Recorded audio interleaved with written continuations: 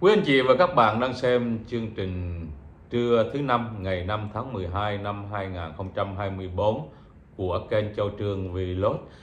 Kênh Châu Trương Vlog phát hình mỗi ngày 3 lần, sáng, trưa và tối. Để mở đầu chương trình trưa hôm nay với bạn Nguyễn Dũng. Nói vậy, thằng YouTube nhân gà cũng trong đường dây Việt Tấn. À, không biết bạn, cái đó thì bạn cứ nghĩ vậy đi, đâu sao chúng ta nghĩ thế nào thì chúng ta cứ nghĩ. Còn chuyện có hay không thì chính họ họ biết. Bạn có quyền suy nghĩ bạn có quyền nghi ngờ. À, chuyện đó là chuyện đương nhiên bạn. Bạn phát tiêu à, ba cái vỗ tay và ba ngón tay. Rồi bạn nghĩa nam. Ngô kỹ phân tích vụ anh đờm kiện có phần thắng lên 80% cũng như ý của anh mổ xẻ câu chuyện này vậy. À nhưng mà hình như ngày hôm nay tôi coi các kênh ở bên Bosa đang cũng kênh nào cũng nói về cái chuyện à, hủy bỏ à, vụ án. À, xin hủy bỏ thôi. Người nguyên đơn có quyền có quyền kiện và có quyền hủy bỏ. Thì hủy bỏ vụ án thì bên luật sư này không có trả tiền. À, không không trả tiền luật sư không lấy tiền luật sư. Trả tiền giấy tờ lặt vặt nào đó thôi. À, chừng khoảng vài ngàn đại khái là như vậy. Rồi thì bên kia nghe nói là bên kia chưa có rút đơn lại chưa có rút đơn kiền chéo. Thật sự đàm vĩnh hưng đó, bị các cái youtuber ở bosa không biết chuyện không hiểu hết cái vụ kiện và các luật sư bên đó nữa cũng chưa từng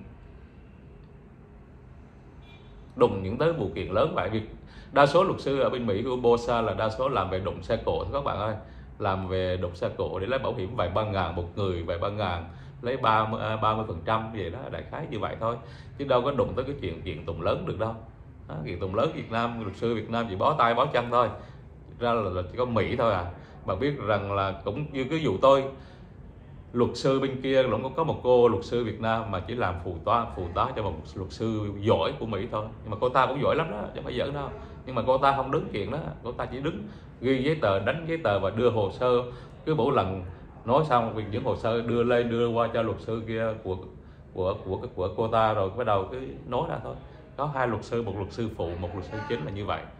Thì luật sư giỏi lúc nào nó cũng phải ra đứng làm chính là vì luật sư giỏi là phải tìm những cái hiểm cái háo cái ngóc cái ngách ra để mà nó nó nó thắng kiện chứ không phải một cái chuyện mà chuyện thấy rồi chuyện đã rồi. Chuyện nó không nó nó, nó không cần tìm nó, nó ghi trong sổ sách rồi. Những ngóc ngách đó cái đó mới là ăn tiền ăn tiền ở chỗ đó. Trong những các cái vụ kiện dân sự nhất là về cái vấn đề mà à, bồi thường và tai nạn và về cái vấn đề mà vu khống. Tội vu khống. Tội vu khống nặng lắm các bạn. Đây là đây thương đây vu khống mật bận đây là nó kiện là bật bật triệu không đó các bạn. Còn cái chuyện bồi thường dân sự nho nhỏ nho nhỏ thì vài ba ngàn vài ba chục ngàn dưới năm bằng năm ngàn gọi là gọi là smart claim gọi là một cái ờ, một cái vụ kiện nho nhỏ. À, rồi vụ kiện trên đó thì gọi là vụ kiện lớn mà vụ kiện lớn phải mướn luật sư luật sư thì nó ăn tiền ăn tiền hết. Chuyện tiền luật sư không nổi, nó kéo dài càng dài bao nhiêu thì nó càng ăn nhiều tiền bấy nhiêu. Mà các bạn biết là luật sư ở bên Mỹ đó, các bạn mời tới, nó tới văn phòng của đó, các bạn vừa ngồi xuống là nó bấm cái giờ, bấm giờ liền. Ngồi xuống là bấm giờ, nó nói chuyện với các bạn là nó bấm giờ chứ không phải như tôi có nói chuyện các bạn. Các bạn coi như là đổ đổ đổ mồ hôi sôi nước sôi nước miếng mà không có không có không có tính giờ. Bạn xuống ngồi với luật sư là nó bấm giờ cho bạn liền. Một giờ là 400 đô la. Bạn nói một phút nó cũng tính 400 đô la. Nó tàn nhẫn là tàn nhẫn ở chỗ đó đó các bạn. À, đó có những cái dịp mà các bạn hôm kia hỏi là thực tế tàn nhẫn và văn bản thì có những cái những cái chuyện tàn nhẫn như thế là tôi chia cho các bạn thấy nhưng mà phải chấp nhận bạn không có con đường lựa chọn. Thì luật sư nào nó không phải tất cả. Nó đâu có làm miễn phí cho bạn. Nó học biết bao nhiêu là tiền. Chi phí của nó, tiền mướn văn phòng, tiền mướn thư ký, tiền mướn đủ thứ hết. Đủ thứ là tiền mà bạn vô những văn phòng luật sư ở mỹ, bạn vô giống như một cái là bạn bị nó hết hồn liền. Bạn vô văn phòng luật sư là bị nó hết hồn ngay cái bàn đầu tiên của bạn. Cái bàn đầu tiên đó, những thằng tổ hợp luật sư nó hết hồn bạn ngay. Nó nó trang trí bàn ghế rồi là nó làm cho bạn thấy rằng là thằng này ghê lắm tổ hợp luật sư này ghê lắm. Nhưng mà thật ra trong trong đó cũng là cũng như nhau cả. Đó. À, cho nên à, tôi tôi chia sẻ tới đó. Ha, và cái chuyện luật sư tôi chia sẻ tới đó. Tôi chia sẻ tiếp cái chuyện khác. Bạn thu thu sao anh là việt kiều mà anh đã rõ mà luật sư hoàng duy hùng ngài lên bốt clip bênh vực kinh khủng? Kể cả ba đời. Kể cả ba đời kêu bà ta nghèo khổ vu vu oan cho bà ta. À, à, bà đời phải không? Kể cả bà đời. À, mà sao bạn để ba đời? Kể cả bà đời. Như bà đời mà tôi tại sao tôi biết số 3 trong này ta? Bà đời kêu bà ta nghèo khổ vu oan cho bà ta. À thì anh ta có quyền bên vực bạn vì anh ta nghĩ rằng bà đời là kẻ yếu. À, bạn nhớ rằng luật sư chuyên môn bên vực kẻ yếu mà. Nhiều khi có có tội cải viết hậu thành không tội. Vì luật sư mà bạn bạn phải nhớ bạn phải nhớ luật sư chứ không phải như tôi. Tôi là truyền thông. Tôi truyền lại cái thông tin của luật sư cho các bạn nghe đó, đó của cái vụ luật sư cho các bạn nghe. À, tôi là truyền thông còn anh hùng là luật sư. Cho nên anh phải thắng bằng một cách ngõ ngách nào ảnh sẽ thắng được ảnh sẽ thắng anh sẽ tìm cách cho thân chủ của ảnh. Đó là cái nghề của ảnh. À, cái nghề thì cái đi đâu đi đâu theo với cái nghiệp à, vậy thôi. Nghề nghiệp mà bạn chứ đây nghề nào cũng có cái nghiệp đó cả bằng vân bích. Cho nên à, cũng có bạn những gì vừa rồi là có bạn nói rằng là là mang nghiệp à, nói về minh tuệ là bị mang nghiệp. Thì cái nghề nào có nghiệp đó cả bạn. Thật ra mang nghiệp cũng không có sao cả. Bằng vân bích ông nói riết hồi nó bày nó bà. Nghiệp đến nhanh như chớp. Nghe ông ở đây nè tôi mới nhắc là bạn đã nói tên đầu các bạn. Nghe xin nghề tử nghiệp bạn có nghe cái câu đó không? Tại sao? Bạn nói là sinh nghề tử nghiệp họ nói như vậy. À, tử nghiệp tức là chết vì cái nghiệp đó hay là bạn nghĩ như sao? À, à nhưng mà theo cái tôi biết cái hiểu biết của tôi cái chữ sinh nghề tử nghiệp như thế nào? Sống cái nghề rồi chết cũng với cái nghề. Bạn hiểu cái câu đó chứ gì? Sống với nghề tức là họ hy sinh cuộc đời của họ cho cái nghề của họ và đã yêu quý cái nghề đã thích cái nghề để làm tròn bổn phận cái nghề thì họ sẽ sống với nó cả một đời. Là vậy đó bạn. À, cho nên chấp nhận những người nào có cái nghề nào cũng phải chấp chấp nhận cái nghiệp đó cả. Thì bây giờ bạn nghĩ đi những người à, cưa gỗ rồi về say hồ. À, rồi họ cũng có cái nghề của họ rồi họ cũng có cái nghiệp của họ. Rồi cái anh bán hồ mà cũng có cái nghề của anh rồi cũng có cái nghiệp của anh vậy thôi cho nên nghề nào thì nghiệp đó bạn không cần thiết phải lo. Lo lắng quá đáng cho người khác. Trước mắt là lo chính mình. Trước đây mình có mang cái nghiệp không? Mà tại sao bây giờ để mình đi tin tưởng một cái người mà mình chưa bao giờ biết chưa bao giờ gặp mặt mà chỉ nó bị chỉ thấy nó tô vẽ lên thôi? À, đó là cái nghiệp cho nên bạn phải đi giải nghiệp. À, còn tôi muốn mang nghiệp. À, vì tôi cái đó là cái nghề. À, còn không phải cái nghề của bạn mà bạn muốn nghiệp và mà tôi nghĩ bạn có cái nghiệp rồi cần phải đi giải nghiệp. À, để cho bạn khỏi bị tin vào những chuyện bạn chưa bao giờ thấy chưa bao giờ gặp. Mà tin gọi là tin trên màn ảnh tin trong phim ảnh. Câu chuyện bạn coi một cuốn phim mà bạn khóc bạn lau nước mắt bạn cho đó là một cái phim thật. Nhưng mà họ đóng phim mà bạn bạn cho đó là thật như ngồi đời thì bạn khóc. À, cho nên bạn bị cái nghiệp cái nghiệp đó. Đó cho nên đó là cái mà tôi khuyên bạn còn cái nghiệp là tôi lãnh rồi. Còn bạn bạn phải giải nghiệp. Bạn lãnh trước tôi. Bạn nên giải nghiệp. Bạn lên à, đáp Việt Tân à bị vạch mặt quê à, à bạn Việt Tân đáp là cho bạn Vân Bích đó. Tôi là tôi là tôi chia sẻ thôi. Hồi nãy là tôi chia sẻ với bạn. Rồi bây giờ các bạn bạn bạn lên à, đáp cho bạn vừa rồi. Bây giờ bạn nghĩa nam nữa đáp tiếp với cho bạn này anh chào nói riết à, hồi nói tùm lum trúng tà la qua chừng nghiệp việt tăng đến việc tân đấy à, hết làm ăn gì được nghe ông châu trương. À, nghiệp việc tân đến hồi hết làm ăn gì được nghe ông châu trương đó. Tôi tôi đang lãnh nghiệp rồi bạn tôi đang tôi đang sống với nghề nhận sẽ nhận chấp nhận những cái nghiệp mà. Rồi bạn thu xuân đáp trời đất không tin từ công miễn à, thông tin từ công miễn gớm.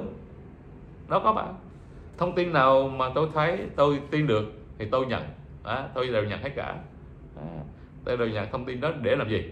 Muốn loan tải phổ biến đến cho mọi người cùng biết. Còn cái chuyện mà nhìn nhận kết luận như thế nào là tùy của mỗi người. Và tôi tin tưởng những khán giả của tôi họ đều rất là thông minh và sáng suốt có trình độ để biết được những cái gì đó đúng hay sai. Nếu như tôi truyền tải bị sai các bạn nghĩ rằng không đúng thì tôi xin lỗi thôi. À, vì tôi đối với tôi đúng nhưng mà đối với bạn đối với mọi người không đúng. Mà nếu nếu như nhiều người không đồng ý thì là cái lỗi của tôi. Nhưng mà nhiều người đồng ý, mà một mình bạn không đồng ý là cái lỗi của bạn, chứ không phải lỗi của tôi, bởi vì bạn nghĩ sai cái vấn đề. Bạn Vũ Phúc Thắng, cảm ơn bạn đã góp phần làm rõ bộ mặt thật của tụi chống phá nhà nước Việt Nam. Chỉ chờ khi cơ quan chức năng đưa ra công bố sự thật trước công chúng để người dân Việt Nam bớt u mê, mù quáng, tin lời Việt Tân chống phá nhà nước, góp phần gìn giữ hòa bình, độc lập cho dân tộc Việt Nam. Bạn nhớ rằng là dù rằng tôi chưa có làm đơn xin lại cái chứng minh nhân dân Việt Nam hay là cái công dân Việt Nam, nhưng mà tôi có ý định tôi muốn về Việt Nam tôi ở, tôi sống với cuối đời, thì tôi thấy Việt Nam sung sướng, hạnh phúc an ninh trật tự.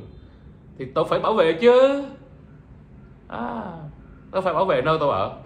Còn các bạn ở bên còn lại ở bên nước ngoài thì các bạn có quyền bảo vệ cái nước các bạn đang ở. Nhưng tuyệt đối không nên xuyên tạc về đất nước Việt Nam. Tôi chỉ mong rằng các bạn chỉ nhìn nhận sự thật thôi. Nhìn nhận sự thật thôi. Không cần không không cần thiết các bạn phải cái gì hết cả. Nhìn nhận sự thật cái đó là một chuyện rất là dễ dàng chứ không có gì khó dễ cả không có khó cả. Đó là điều tôi chỉ mong muốn các bạn như vậy. Còn tôi tôi đã nhìn thấy sự thật và đã mọi thứ tôi đã sống trên sự thật. Những gì tôi đã nhìn thấy cho nên tôi phải bảo vệ. Đất nước là một căn nhà mà quốc gia mà. À, nhà nước mà. Bạn nhớ không? Nhà nước vì đó chúng ta vẫn thường gọi là nhà nước mà. Nhà của mọi người dù rằng tôi không có nhà à, dù rằng tôi không có nhà tôi vẫn sống lang thang. Hôm nay khách sạn này mai khách sạn kia à, tôi vẫn sống lang thang vậy đó mai chỗ này mai chỗ kia. Nhưng mà tôi đã nhìn nhận à, nơi này là nhà là quê hương của tôi. Tôi không thể nào chối bỏ quê hương được và không thể nào à, xuyên tạc quê hương được. Đó là cái tính của tôi và cái nghề nghiệp của tôi nó như vậy. Lỡ tôi làm như vậy mà tôi mang cái nghiệp thì tôi cũng chấp nhận thôi vì nghiệp đúng à, nghiệp cũng có nghiệp đúng nghiệp sai nữa. Nha bạn chứ đâu phải là nghiệp nghiệp quật nghiệp không quật nữa chứ. Còn nghiệp đãi nữa các bạn nên nhớ như vậy. Cho nên bạn làm đúng thì bạn không có gì phải sợ cả. Tối bạn ngủ ngon lành nằm xuống là ngủ liền. Vô tư không có gì phải lo lắng. À, bạn làm không tốt bạn nghĩ chuyện coi như âm mưu này âm mưu kia bạn mới lo lắng. Tối nằm gắt tay lên trán ngủ không được. Nhiều khi gắt tay nghĩ không ra phải gắt chân lên trán nữa để nghĩ cho nó ra. Như vậy có khổ không? Có cực không? Còn tôi. Tôi nằm xuống rồi là tôi ngủ thôi. Vô tư. Không coi chuyện gì coi như là mọi vấn đề đều bỏ lại sau lưng hết cả không có còn bận tâm tới nữa. Rồi thức dậy làm việc tiếp. Sáng cho một clip cho quý vị trưa một chương trình tối một chương trình. À, rảnh thì đi ăn à, đi chơi đi đâu đi dạo đi bộ. Nói chung đó là đời sống. Không có gì bạn các bạn. Chỉ mong được như vậy thôi. Bạn Trần Thu nào giờ tôi mới thấy một người tu tập hợp, diễu hành và đóng phim như vậy. Hề thật.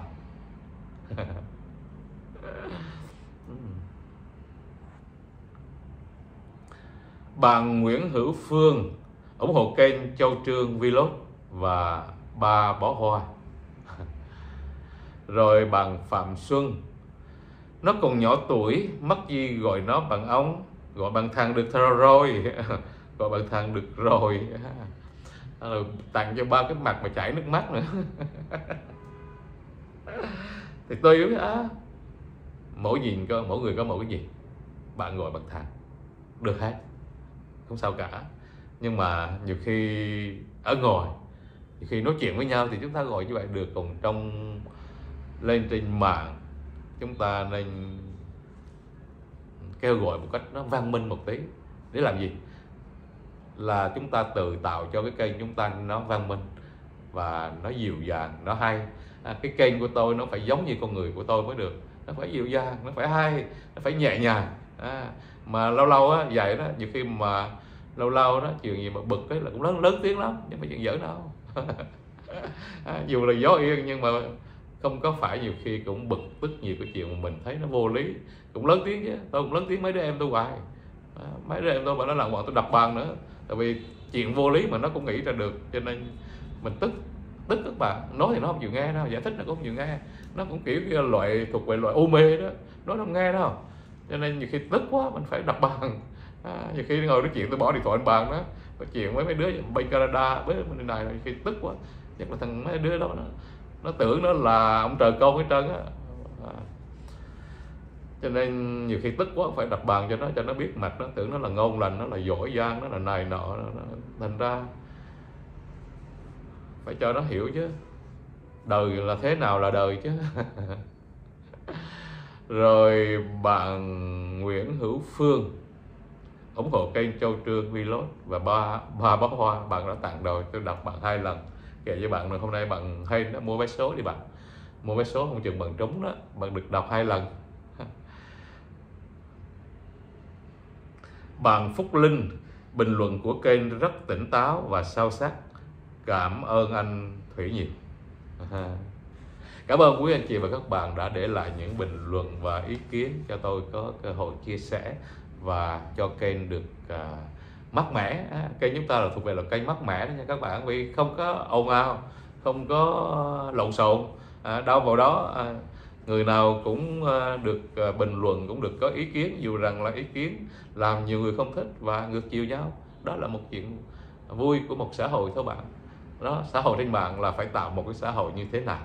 À, chứ không phải như cái mạng những cái mạng khác. Đó không phải gọi là sao cái mạng xã hội cộng, cộng đồng mạng. À, thì trong cộng đồng mỗi mạng nó có mỗi cộng đồng. Những người dân tụ họp với nhau gọi là cộng đồng đi. Thì cái cây của chúng ta cộng đồng của rơm này của cây này chúng ta rất là hiền hòa rất là nhân văn nhân bản. Cho nên chúng ta các bạn à, mới vô chơi chưa được à, biết à, hiểu biết nhiều về cái cây của tôi thì các bạn cố gắng ngồi lâu à, coi lâu có quyền chửi có quyền nói nói gì cũng được hết. Tôi không đọc lại cho các bạn nghe à, cho nên các bạn để rồi từ từ các bạn sẽ thấy và sẽ thích. À, chứ còn đi các bạn đi du khách các bạn nó không có ai nghe các bạn đâu. Tôi cam đoan các bạn vậy nó không có ai nghe. Nhiều khi họ cũng chửi nữa. Nhưng mà tôi vẫn tôn trọng ý kiến của các bạn để trả lời chia sẻ cho các bạn từng ly từng tí để cho các bạn thấu tình đạt lý. Rồi bạn Nguyễn Tiến hoan hô chú Thủy đã nói thật lòng mình rồi bằng Khánh Linh nếu minh tuệ như vậy thì anh Hoàng Duy Hùng vô tình hai bên có có ý đồ. Theo anh. Nhiều khi khó nói bạn khó giải thích. Chỉ có anh Hùng mới giải thích hoặc là hoặc là bạn phải chờ kết cục. À, phim chưa hết mà bạn. Chưa hết chúng ta cứ thản nhiên đi cứ bình tĩnh mà xem. Không có nặng về bên nào hết. Từ từ, mọi chuyện nó sẽ sáng tỏ. Vấn đề sẽ ra ánh sáng cả. À, Tôi biết, sẽ ra ánh sáng. Cho nên các bạn từ từ đi. Không có gì phải mà gấp gáp đâu. Rồi, các bạn sẽ biết ai là ai chứ bây giờ nói tức là có thể là chủ quan quá nhưng các bạn trách tôi nói là tôi tại sao phải nói rồi nè nè. Tôi không phải nói, tôi chia sẻ các bạn. Tôi chia sẻ như chẳng hạn tôi chia sẻ những cái mà các bạn kia thắc mắc. Cũng giống như tôi thôi. Tôi thắc mắc những chuyện của tôi còn các bạn kia thắc mắc những chuyện của các bạn kia. Và những cái mà tôi đã chứng minh các bạn trước đây về hình ảnh thì cũng giống như những người kia chứng minh. Như vậy rằng có hai, ba người cùng một cái suy nghĩ giống như nhau. Và những cái thắc mắc và môi ra những cái những cái đó ra được ánh sáng, cho mọi người biết như nhau. Điều đó cũng rất là cần. Ví dụ như ba mười người mà cùng suy nghĩ giống nhau về một cái câu chuyện này, thì rằng là chuyện đúng.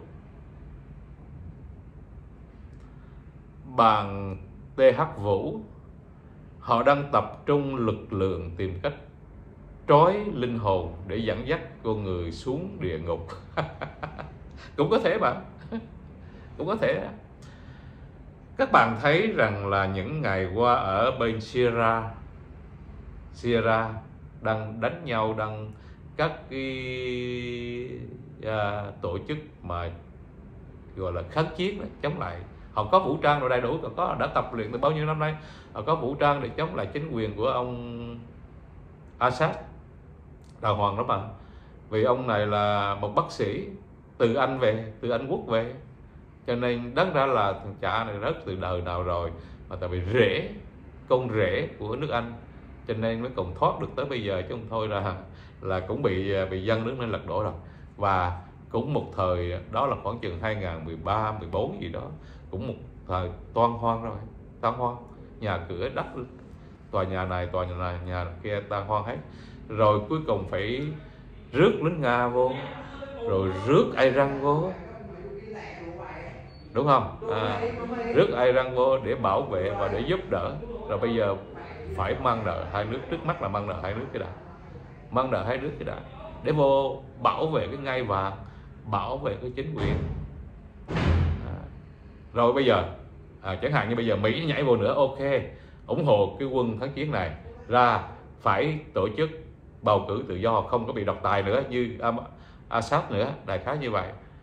À, thì bầu cử độc tài độc tài lại cần chém giết nhau nữa cần đánh nhau nữa. Cần đa đỡ, được cần đánh nhau. Như vậy thôi. Đó đó là cái mà các bạn phải cần nhớ. Một chính phủ có biết lo cho dân hay không đem lại an ninh hạnh phúc cho người dân hay không?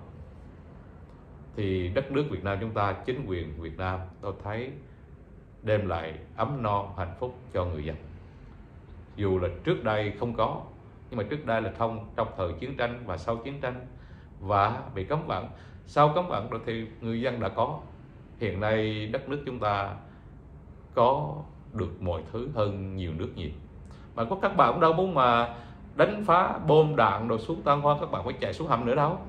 À, tôi nghĩ các bạn trẻ cần phải tỉnh táo đừng có nghe những cái băng đảng lưu manh ở bên Mỹ nó chuyên lừa gạt nó dùng yêu nước nó dùng lật đổ chính phủ nó dùng chống cộng để nó lừa gạt mấy chục năm nay. Rồi tiền cũng vô túi nó cả. Rồi những người đi theo nó kẻ bơ vơ người lạc lòi kẻ chồng bỏ vợ chồng vợ bỏ chồng bỏ vì chống cộng quá. À, vợ nó phải bỏ à, ham cái chức hảo huyền chức cái chủ tịch nha nhỏ à, của một cái tổ tức là, là tổ trưởng đó mà nó đặt cái chức tổ chủ tịch rồi ghê tổ trưởng cũng không có rồi tổ trưởng cũng sáu bảy người lập ra một cái hội vài ba người rồi. Rồi anh xưng à, à, tổ à, chủ tịch vợ chủ tịch hay là anh chủ tịch bạn chủ tịch. Đó nói chung bạn phó chủ tịch à, mà thường thì cái giấy giấy phép mà để xin bắt vụ lợi đó chỉ cần một người thư ký và một người chủ tịch giám đốc là đủ rồi president à, giám đốc là đủ là lập được một cái giấy tờ để mà hoạt động bất vụ lợi rồi. Thành ra cái băng đảng bên đó nó dùng những cái giấy cái đó cái, cái, cái chương trình đó xin những cái giấy phép đó để nó quyên góp tiền bạc cho bất vụ lợi nhưng mà nó bỏ túi. Tiền mặt mà.